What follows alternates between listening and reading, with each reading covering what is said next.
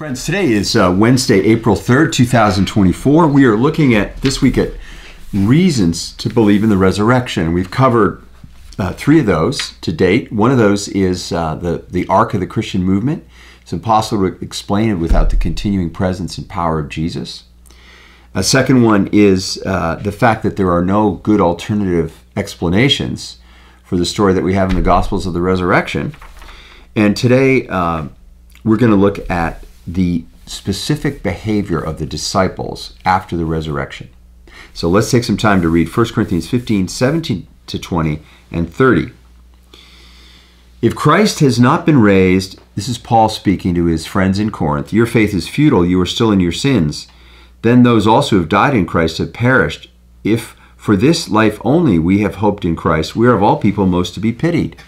If we only knew Christ in this life, but we don't know him now, we should be pitied. But in fact, Christ has been raised from the dead, the first fruits of those who have died. Why otherwise are we putting ourselves in danger every hour?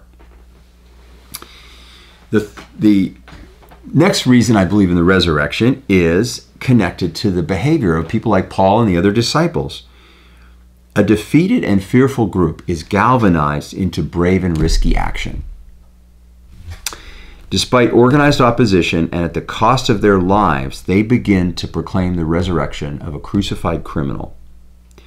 And they knew that the idea of the Messiah being crucified as a criminal was a stumbling block to Jews and foolishness to Greeks. Greeks could only imagine God as not someone who would suffer and as a glorious being, powerful, distant from us, not as someone who could come amongst us and take responsibility for our brokenness.